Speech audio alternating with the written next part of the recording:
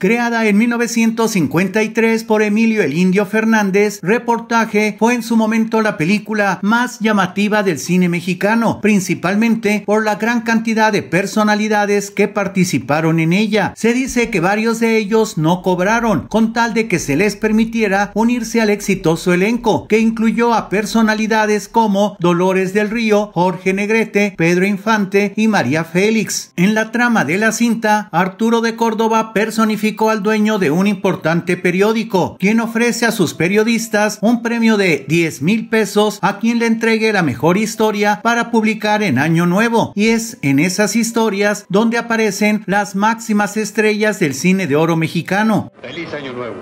Feliz año nuevo. Mi abrazo, vecinita.